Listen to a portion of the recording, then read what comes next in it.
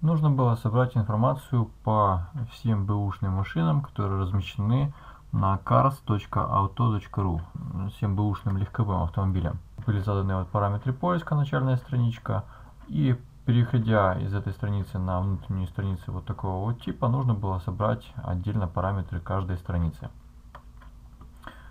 Э, сложность была в том, чтобы собрать полностью вот комплектацию в отдельное поле, и контактную информацию в отдельное поле. Иногда встречалась доп. информация по объявлению, ее также нужно было здесь э, спарсить.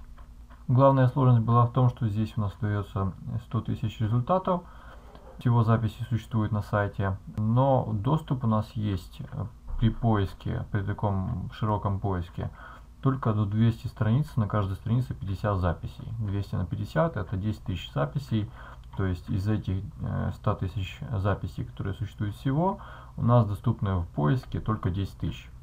Но благодаря тому, что можно изменять э, цена рубль год выпуск, двигатель э, КПП э, в сортировку, нам удалось собрать больше э, записей, а именно вот на все эти записи, и вот 43 тысячи, 40 3485 результатов было собрано в итоге по э, данным машинам.